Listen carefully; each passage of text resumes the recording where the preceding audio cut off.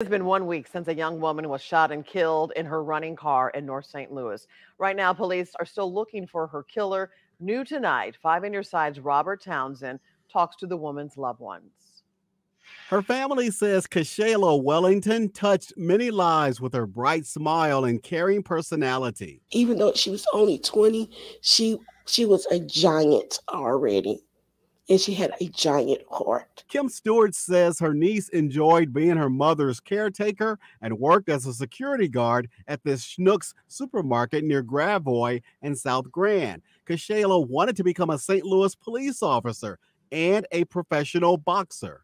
Kashayla was so goal oriented. But on December 29th, her dreams ended tragically. Police say just after five that morning, they found Wellington dead behind the wheel of her silver Chevy Impala near North Kings Highway and Dr. Martin Luther King Drive. Her car still running. A mile and a half from home.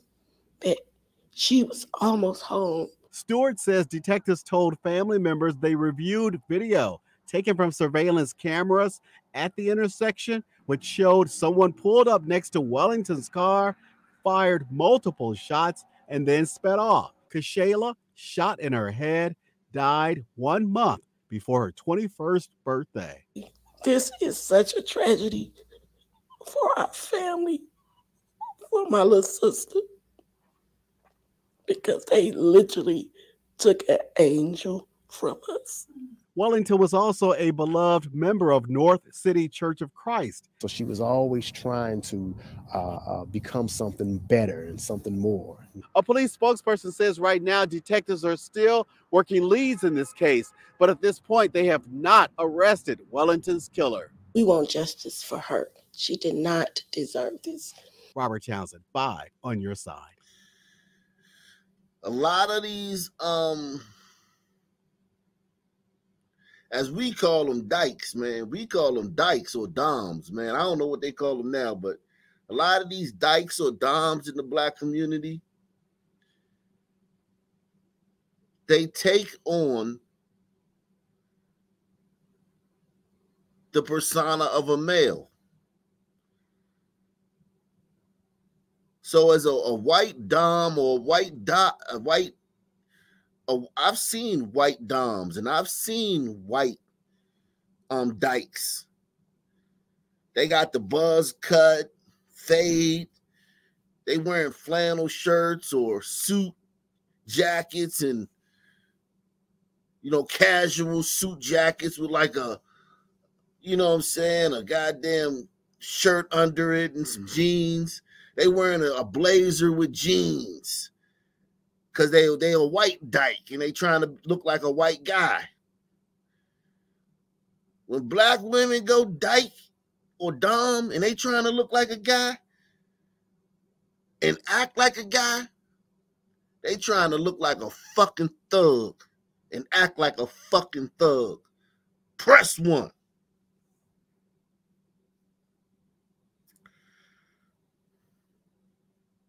Loved member of North City Church of Christ. So she was always trying to uh, uh, become something better and something more. A police spokesperson says right now detectives are still working leads in this case, but at this point they have not arrested Wellington's killer. We want justice for her. She did not deserve this. Robert Townsend, five on your side. And RP to that girl, man. I believe everything they said about her being a good person. But oftentimes those girls they get themselves into trouble because they jump in and out of being a nigga. One minute they a nigga, one minute they all hard, the next minute they a girl, and they calling some niggas to fuck some nigga up that that they jumped out there. They jumped out there with a nigga, and the niggas like, "What's up?" And then they call some other niggas to go get him because it's like, she remembers she a girl now.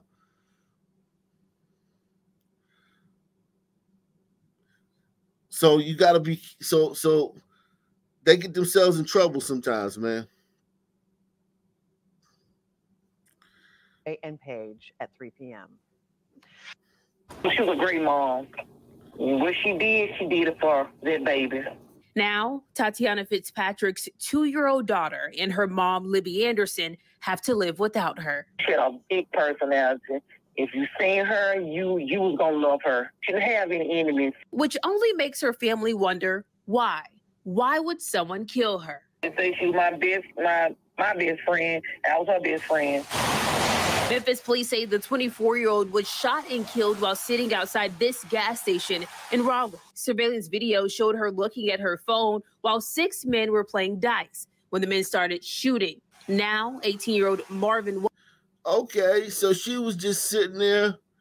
She was in the mix. She was at this place right here. And listen, man. Listen, man. Listen, man. I hate to um blame. Listen, I'm not going to blame the victim. All I'm going to do is for other people in the future. If you're at one of these places, right, and you see black a group of young black men doing something highly competitive, like shooting dice you know what I'm saying? And you just think you're gonna sit in your car and look at your phone. Like you just pull. I don't know if she was with them. I don't know if she was around. I don't know if she was just a bystander. But that's a scene anywhere near a dice game. You don't want to be near that. Because what if somebody come up and rob the dice game? Or in this case, there's an argument and they start shooting at each other. I feel bad for the girl, man. She was proximal as a motherfucker, though, man. Proximal as a motherfucker. I was her best friend. Memphis police say the 24 year old was shot and killed while sitting outside this gas station in Raleigh. Surveillance video showed her looking at her phone while six men were playing dice when the men started shooting. Now, 18 year old Marvin Watkins is at 201, charged with reckless homicide in Fitzpatrick's death. This kid looked like he about five five. He about five five. 18 years old, about five five. And he gonna get a chance to live a long life because he gonna be incarcerated. Any nigga shooting dice in front of a gas station and then pull out a gun and start shooting randomly, that kid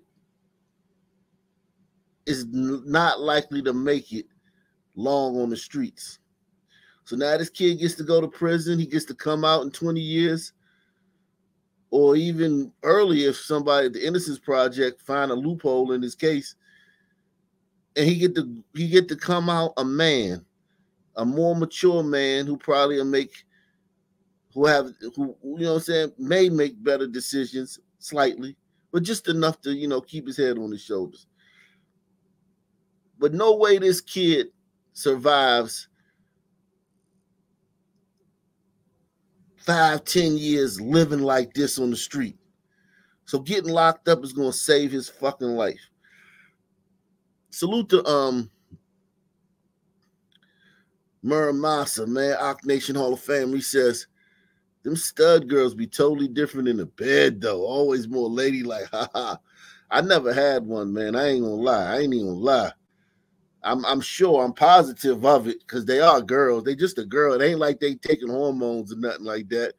They ain't taking hormones. They had no surgery. So yeah, I'm sure you. I sure you right, man. When the men started shooting, now 18-year-old Marvin Watkins is at 201, charged with reckless homicide in Fitzpatrick's death.